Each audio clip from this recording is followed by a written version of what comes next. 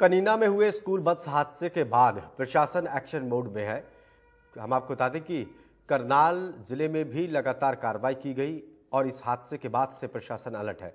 करनाल ज़िले के निजी स्कूलों की करीब 1500 स्कूल बसों की जाँच की जा रही है। निजी स्कूल संचालक सुरक्षित वाहन पॉलिसी के तहत तिरपन बसों के चालान भी काटे गए। सभी की जाँच में पकड़ी गई तीन असुरक्षित बसें इंपाउंड की गईं।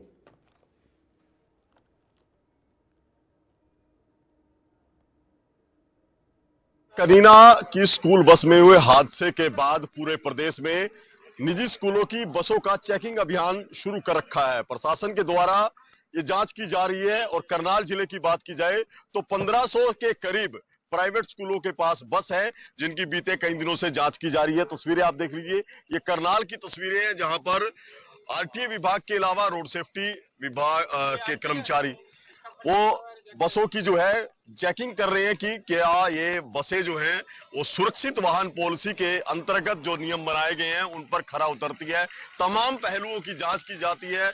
बस की हेडलाइट से लेकर वाइपर, बस की जो सुरक्षा मानक है, उनको लेकर तमाम जो है वो चेकिंग की जा रही है। बसों की चेकिंग की जा रही है और इसके अंदर जो फ़र्स्ट एड की सुविधा होती है, वो कितनी है?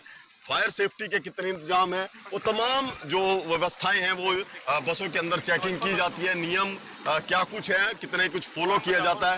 ये तमाम पहलुओं की जाँच जो है वो अब की जा रही है अब तक।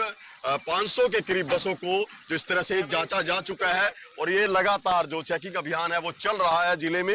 इससे करीब 50 से करीब जो बसों के चालानिंग भी अब तक जो है हो चुकी है जिनमें जो मानक थे वो पूरे नहीं थे या बसों की स्थिति अच्छी नहीं थी जो स्कूली बच्चों के लिए असुरक्षित हो सकती थी ऐसी बसों के चालान भी किए गए हैं। और आप देख सकते हैं कि अब अब यहाँ जो चेकिंग कर रहे हैं उनसे बात कर लेते हैं। क्या ब्रेक मारिए ये जो चेकिंग कर रहे हैं क्या क्या चेक करते हैं आप इसमें? इसमें sir brake light indicator wiper first aid fire cylinder और कैमरा सीटें टूटी ना हो हम्म। ये सारी चीज़ें चेक करके हम्म। कोई भी अंदर से टूटा ना हो इसलिए गाड़ी कंप्लीट है तो एम्बियस आप पास करते हैं नहीं तो नहीं। हम्म। ठीक है जी। तो अभी जिस तरह से पुरानी बसें हैं कईयों के टायर जो है काफ़ी घिसे हुए हैं। और रिजेक्ट कर देते हैं सर हाँ तो अभी कितनी ऐसी रिजेक्ट हुई है? अभी देख के बताएँगे। हम्म। वो देख लेते हैं उसमें सर साहब की कॉपी में। हम्म। वो साहब बता देंगे आपको।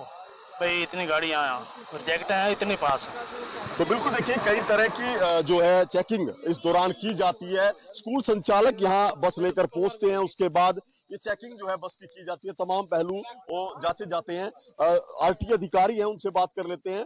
सुरेंद्र जी क्या कुछ अभियान जो है अब ज़िले भर में चलाया जा रहा है? ये सर स्कूल वन पॉलिसी के तहत जिन बसों की अपनी है सभी को चेक किया जा रहा है।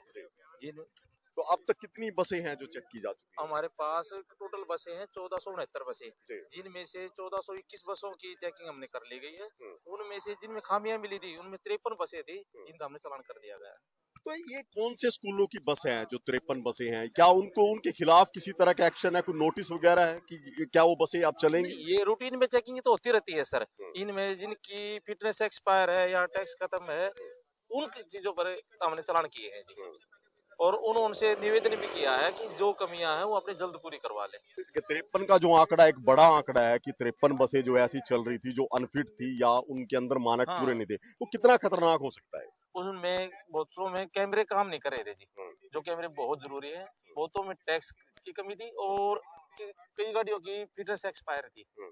उनको टाइम दे दिया प्रशासन ने 20 तारीख तक का 20 तारीख तक अपनी गाड़ियाँ की जो भी खामियाँ वो दुरुस्त कर लें। रिलैक्सेशन की बात है वो निजी स्कूलों को मिलती हुई दिखाई दे रही है कि उनके वाहन स्कूलों में जो है उनकी चेकिंग ना कर कर यहाँ बुलाकर जो है विभाग जाँच रहा है। उससे कहीं ना कहीं उनको एक समय मिल जाता है अपने वाहन को दुरुस्त करने का या ऐसे वाहन जिनके अंदर कमी ज़्यादा है वो यहाँ लेकर ना आए उनको स्कूल में ही रखा जाए। तो वा, जो वास्तविक स्थिति जो आनी चाहिए चेकिंग में वो शायद ना आए लेकिन इस प्रयास के बाद शायद कहीं ना कहीं वो शिकंजा ज़रूर कसेगा प्रशासन का, जो अवेलना प्राइवेट स्कूल संचालकों की तरफ़ से इन नियमों को लेकर की जा रही थी, उनमें ज़रूर कुछ ना कुछ पालन में सख्ती होगी और बच्चे जो हैं वो शायद सुरक्षित हो जाए। करनाल से महेंद्र सिंह, इंडिया न्यूज़, हरियाणा।